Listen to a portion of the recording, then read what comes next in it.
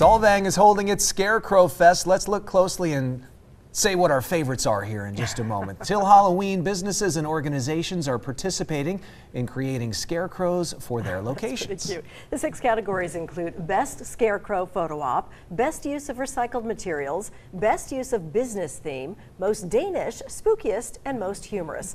The winner will be announced after Halloween. That's a scary one. Spookiest one we've seen so Ooh, far, yes. right? That one is fun. That one brings yes. a smile. I like That's the minion sweet. that we saw. Yeah, That that's was pretty cute. cute. I liked that was one. What's very this? cute. Chomp jail. There's my favorite right there. The Irish guy with the pint and the green hat. I like that.